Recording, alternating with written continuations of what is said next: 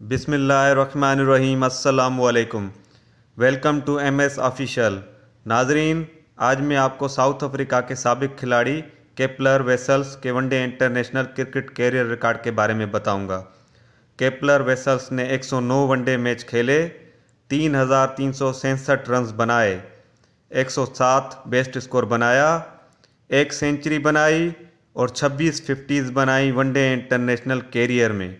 नाजरीन बॉलिंग में Kepler vessels ने 18 विकेट्स हासिल की, दो सोलह बेस्ट बॉलिंग की। फील्डिंग में उनचास कैचेस लिए वनडे कैरियर में।